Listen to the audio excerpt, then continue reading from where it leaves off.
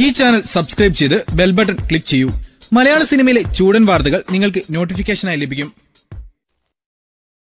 Cinema വൻ വിജയമായതോടെ ഉറപ്പിച്ച വിവാഹത്തിൽ നിന്നും പിന്മാറി യുവനടിയുടെ വിവാദ ജീവിതം ഇങ്ങനെ. ഗീതാ ഗോവിന്ദം എന്ന ചിത്രത്തിലൂടെ തെന്നിന്ത്യൻ ആരാധകരുടെ പ്രിയ താരമായി മാറിയ യുവനടിയാണ് രശ്മിക മന്ദന. വിജയ് ദേവർക്കൊണ്ട നായകന ഈ ചിത്രത്തിലെ ഇങ്കേ ഇങ്കേ കാതൽ എന്ന ഗാനത്തിലൂടെ ശ്രദ്ധിക്കപ്പെട്ട ഈ ഇരുപത്തിരണ്ടുകാരി വിവാദങ്ങളുടെയും തോഴിയായിരുന്നു. തെലുങ്കിൽ അഭിനയിച്ചിരുന്ന രശ്മികയ്ക്ക് വൻ വിജയം സമ്മാനിച്ച ചിത്രമാണ് ഗീതാ ഗോവിന്ദം. അതോടെ നിരവധി അവസരങ്ങൾ താരത്തെ തേടി എത്തിത്തുടങ്ങി. സിനിമയുടെ തിരക്കുകളിൽ മുഴുകിയതോടെ കാമുകനുമായുള്ള വിവാഹത്തിൽ നിന്നും രശ്മിക പിന്മാറി. ഇത് സോഷ്യൽ മീഡിയയിൽ വലിയ വിമർശനത്തിന് ഇരയായി.